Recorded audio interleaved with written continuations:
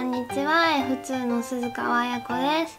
え本日はこちら、え2013年9月21日発売のトミカ90番フィアット500を紹介します。はい、こちらはですね、フィアット500シリーズの3代目になり、え2007年に登場しました。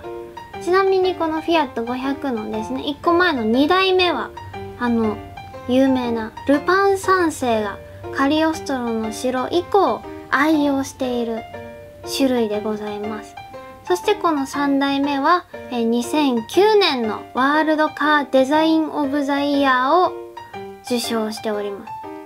はい、そしてですね、こちらのトミカの特徴としましては、えーこちらの後ろの後部ドアがですね、開けることができます。はい。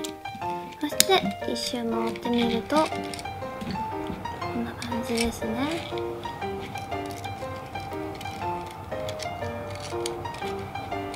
はい。そしてこちらのカラーはですね、えー初回限定カラーということで、通常はホワイトが販売されております。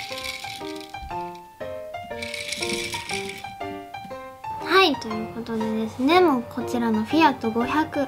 まずね、このフィアットのロゴがすごい可愛いですね、これは。